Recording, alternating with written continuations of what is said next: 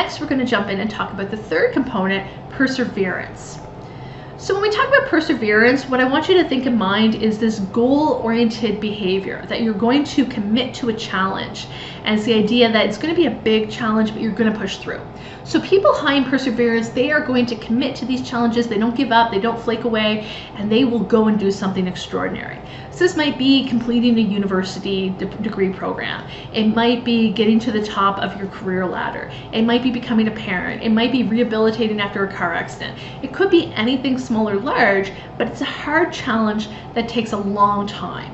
And so long time could be a duration of months or a duration of years. So I want you to think about perseverance as we're going to climb a mountain. It's not an easy mountain to climb, and the people who persevere are the ones that are going to succeed at it. So in order to climb the mountain, we need three subcomponents of perseverance. And I'm going to call those for this course grit, adaptability, and prudence. So the first sub-skill to climb the mountain is grit. And so grit is actually named by Angela Duckworth. Uh, and so she believed grit had two pieces, that you don't give up and that you're really passionate about the project. So perseverance is the idea you don't give up, and passion is the idea you really care, you're really going to put all you have into it. Interestingly, Duckworth believed that you shouldn't be passionate about too many things, that having a more narrow focus would help you to persevere. And so she believed that people had lots of widespreading passions or lots of different ideas and they could shift their shift their focus from year to year. She would actually consider them to be lower in grit. And she believed to be higher in grit, you had to stick to one target. That's been criticized in her theory because the idea that some people might just loop back. They might actually be the most uh, most gritty because they can maintain uh, lots of different boiling pots at once. It's also been argued that her definition of grit tended to really focus on people of high socioeconomic status and not low socioeconomic status. Where in low, sometimes you have to put your dreams on hold to face real world obstacles in your face right now. So the theory definitely has been criticized. Another way we can think about grit is through using words like growth mindset versus fixed mindset. So these were coined by Carol Dweck.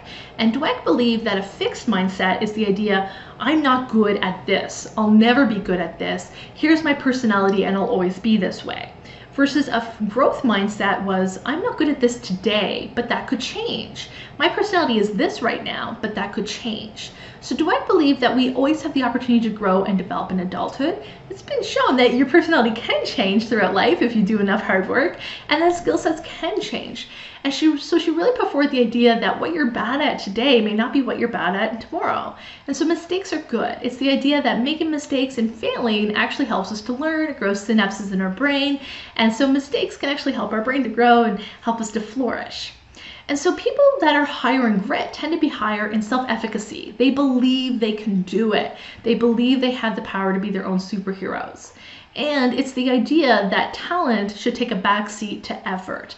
This is the idea that someone who's born with big muscles uh, is not going to be as strong as someone who worked for those big muscles and went to the gym multiple times a week. So the effort is really more powerful than the talent. And so it's like the farmer's idea that what you plant in the spring is what you harvest in the fall. You have to put the effort in to see that gain. So in terms of our mountain climber metaphor, the skill that helps you here is when you're hiring grit, you're going to persevere, you're going to try. And when you're struggling on the mountain, you're not going to give up. You're going to believe, okay, I made a few mistakes, I can still go. And even though climbing the mountain right now is difficult, it's going to get better. I can develop the skills. And you know that climbing the mountain requires effort, not just talent. So that's why grit is really important. But the second component of perseverance is adaptability. So adaptability, another word for it is really resilience. Instead of just having a growth mindset, it's the idea that you'll actually attempt to change and grow. This is the idea that if you're climbing a mountain and your first couple strategies don't work, you realize you have to pivot. You realize you have to change the, the idea and say, okay, this, this plan is not going to work out. We need to adapt. We need to make some changes. Another component of adaptability is optimism. So this is the glass half full versus glass half empty strategy. It's the idea when you're looking at life, you may look at life through rose-colored lenses. You look at things with more hope and with less despair. You're less likely to panic and see doom and gloom. It can be super hard when the news is all just full of doom and gloom, but you're hopeful that there will be another side to every dark tunnel. And so this is the idea that your adaptability helps you to say, well, it's not always going to be like this because you're able to change and pivot. You understand that everything is temporary and even the dark times are temporary. The, the good times are temporary and we need to hold on to them while we have them and cherish them, but the dark times are temporary as well and you can get through it. And finally, with this adaptability comes a bit of humility. So humility is the is the lack of lots of pride or lots of shame. So pride is when you're really hung up on when you win, and shame is when you're really hung up when you lose. Versus humility is when you have that self-actualization or self-acceptance that you know that you're gonna have good days and bad, and you know that these external validation measures don't mean anything. You can internally validate yourself, and when you reflect on yourself, you know you're a good person, you know you're doing your best. And so that's what adaptability really is. You feel confident in yourself. You feel like you trust yourself. You're not worried about what other people think about you or if they brag about you or if they critique you, and you keep going. And if something's not working, you're not ashamed to pivot and change because you don't have a lot of pride hung up in the matter. And finally, the third component of perseverance is prudence. And so prudence can really be akin to responsibility. So people that are high in prudence, they engage in more responsible decision making. So in terms of climbing the ladder, uh, if grit was that you're just going to keep trying, if adaptability is you'll pivot your strategy, well, prudence is that you pack the right gear in your backpack before you got on the mountainside.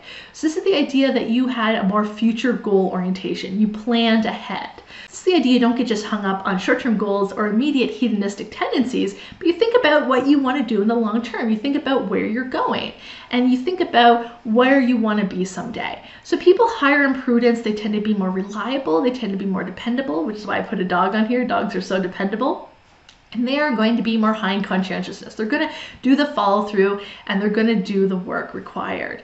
And so they, they think ahead of time, they do all the planning before they get on the mountain, and they plan, they strategize, they look at the weather route, they look at the avalanche report, and they make sure they have all the training before they even start. So those are really the three components of perseverance.